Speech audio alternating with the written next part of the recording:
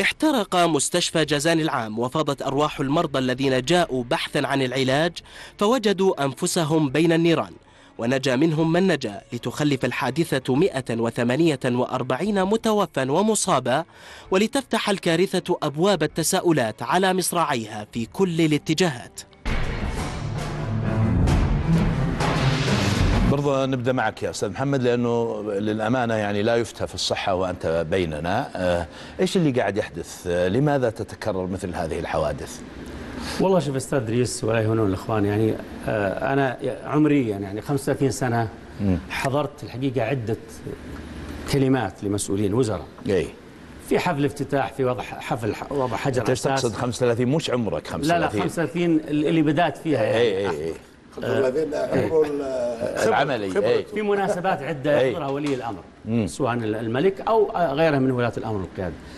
دائما الحديث الوزراء عن إنجازات وعملنا وعملنا وعملنا. ما قد سمعت وزير جاء وقال والله ترى عندي الصعوبات الفلانية. عندي النقص الفلاني. سيحدث كذا إذا لم يوفر لي كذا كذا في خطابه. كلها كليشة واحدة تتحدث عن الإنجازات. وهذه عندنا علة كبرى. أنا أتمنى إي. أتمنى من القيادة لا تصدقهم لأني أنا شخصيا كنا نحضر ونسمع ونعرف إنه ما يقال غير صحيح. في المجال الصحي تحديدا ومجالات أخرى. هذا جانب. فأرجو يعني إنه هذا الأمر يوقف تصديقه على الأقل يعني. طيب. الشيء الثاني في حادثة جازان كذبة اجتياز اللجنة الدولية المشتركة ال JCI هذه أنا حذرت منها كثير. اللي هي إيش؟ هذه ما فهمت هذه لجنة مشتركة لاعتماد المستشفيات. اي مدفوعة الثمن. يعني ك- شركة تاخذ منك فلوس وقبل ما تجي تعطيك اللي آه، لازم تجهز لها.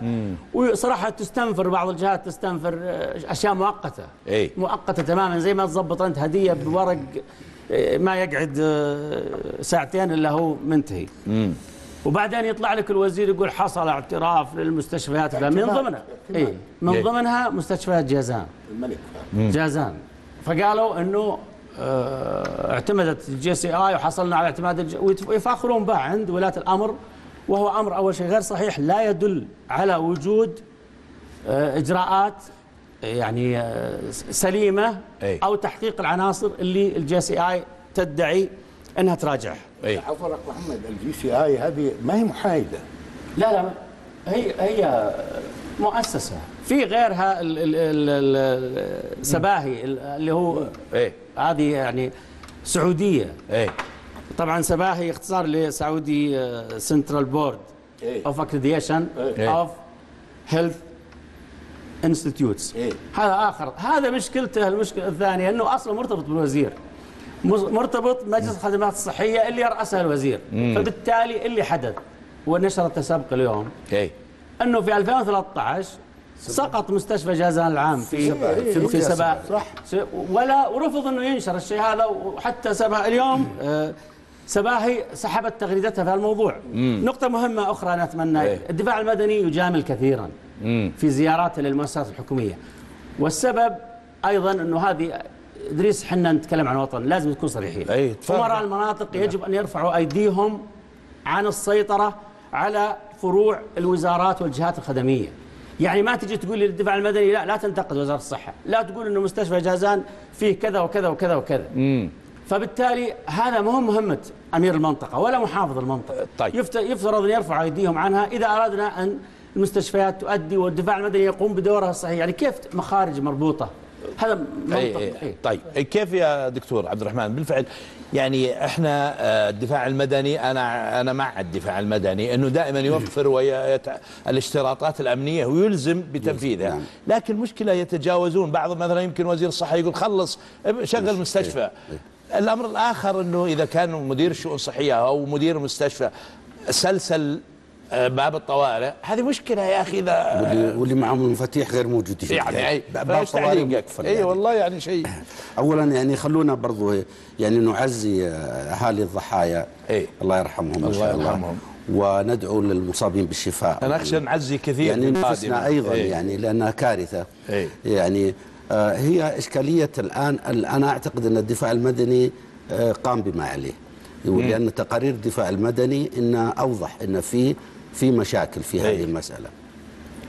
وكل أمل أن نستفيد يعني الدول الرشيدة والقرار الحكومي الرشيد هو أن يستفيد من أي كارثة تقع لتلافي وقوع أشياء مماثلة. وإلا نحصر تفكيرنا أيضا في المستشفيات. يعني بعد كارثة مثلا مدرسة البنات في مكة في سنة من السنوات إيه. كنا نتكلم عن المدارس. الآن المدارس عندها نفس المشكلة خاصة إيه. المستاجرة. لا مخارج طوارئ ولا اطفاء حريق ولا أجهزة إنذار ولا أشياء.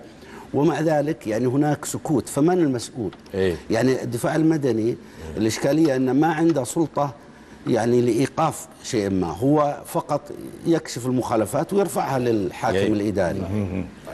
فلا بد من تحديد المسؤولية بأن تلافي الأخطاء وتحميل المسؤول المقصر في عدم اتخاذ احتياطات السلامة. إيه. يعني علينا يعني فعلا أن نستفيد منها لئلا تقع كوارث حتى في ملاعب كرة القدم و- إيه، طبعاً. وأماكن كثيرة. كل أماكن صحيح، التجمعات صحيح. إيه. ينبغي فعلا العناية بها بشكل كبير. ممتاز ممتاز. يعني أنا بسألك قبل قبل. أنا حاسس إنه في عندنا ضعف في محا في في معاقبة المسؤولين في الذين يتسببون في مثل هذه الحوادث. يعني ولن وأنا أشك أيضا أننا سنستفيد مثل ما قال الدكتور عبد الرحمن الناد آه، من هذا الحادث. أنا متأكد آه، للأسف حزين أن أقول أنه سيتكرر لأنه آه، هذا يحدث في المدارس والمستشفيات وقصور الأفراح والملاعب. كم مرة قد حدث آه، حادثة الحرق اللي في القطيف في خيام أفراح في مدرسه البنات لما يج- يجون مثلا محتسبين مع اخشى يزعل مني محمد الحيدر ولا مثلا واحد يجي يسكر أبواب الطوارئ. يعني هل هذا عدم شعور بالمسؤولية منا كأفراد؟ إيش تعليقك؟ أخي الكريم أنا أعتقد كل هذه الكوارث اللي ذكرتها والكوارث التي ستأتي. إيه. آه، ما لم يحدث تغيير حقيقي لنقطتين إيه. مهمتين في بلادنا. الأول هذه الإدارة المركزية التي يعني الوزير آه، في الرياض مثلا إيه. وزير الصحة.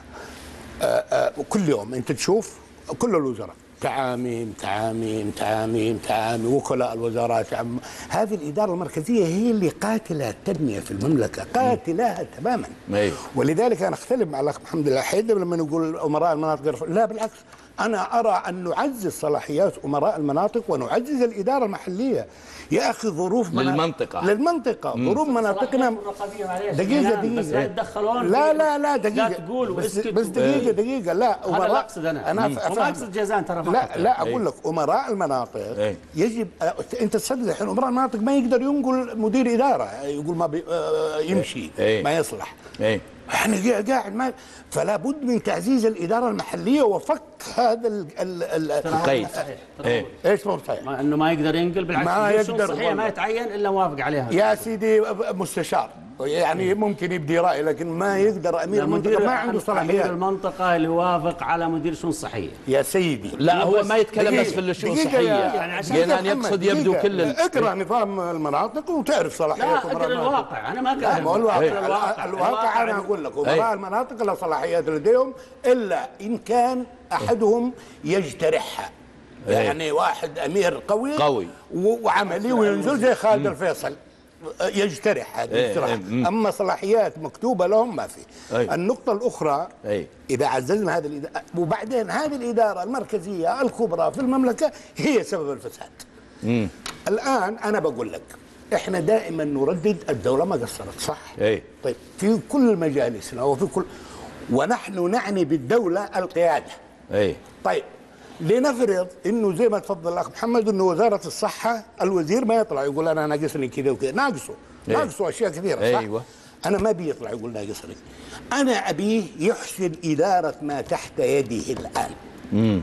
بس نستثمر اللي تحت أيدينا أي. بشكل ممتاز.